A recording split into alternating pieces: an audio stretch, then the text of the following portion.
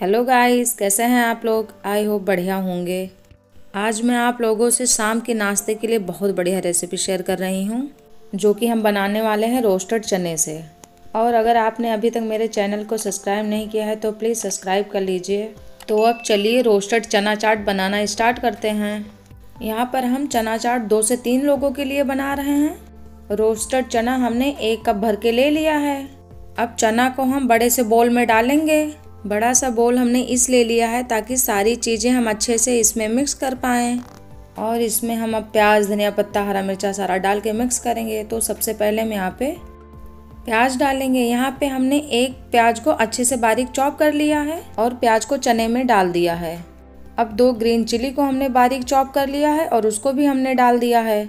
अब हम इसमें नमक डालेंगे। यहाँ पे नमक हमने हाफ़ स्पून लिया है। आप स्वाद अनुसार भी नमक ले सकते हैं। आप सफ़ेद नमक के बजाय काला नमक का भी यूज़ कर सकते हैं। अब इसमें हम वन स्पून मस्टर्ड ऑयल डालेंगे।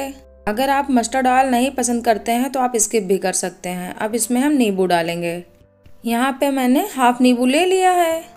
और अब नींबू का जूस डाल देंगे। लेमन का जूस हमको हाफ़ स्पून लेना है। अगर आप स्पाइसी नहीं खाते हैं तो ग्रीन चिली को आप स्किप कर सकते हैं। अब लास्ट में हम धनिया पत्ता डालेंगे इसमें। यहाँ पर हमने ढेर सारा धनिया पत्ता काट लिया है और अब चाट में हम टू स्पून धनिया पत्ता डालेंगे। धनिया पत्ती आप अपने हिसाब से कम ज़्यादा कर सकते हैं। अब सारी चीज़ों को हम अच्छे से मिक्स कर लेंगे। देखिए फटाफट रोस्टेड चना चाट हमारा रेडी हो चुका है। और हाँ हमको ये चना चाट बना के रखना नहीं है। तुरंत आप बनाइए और तुरंत सर्व कर दीजिए। वरना चना हमारा सॉफ्ट हो जाएगा। और दूसरी साइड हमने चाय चढ़ा के रखी है। और अब फटाफट हमारा शाम का नाश्ता रेडी हो चुका है। और ये चना चाट जितना हेल्दी है, उतना ही ज़्यादा टेस्टी लगता है। अगर आप चाहें तो चना चाट आप अपने बच्चों को भी खिला सकते हैं। बस फटाफट चना चाट बनाइए और फटाफट बच्चे के लिए एक गिलास दूध रेडी करिए और उन्हें शाम का नाश्ता सर्व करिए। लेकिन आप ये ध्यान रखिएगा कि अगर आप बच्चों को दे रहे हैं तो इसमें से चिली स्किप कर दीजिएगा।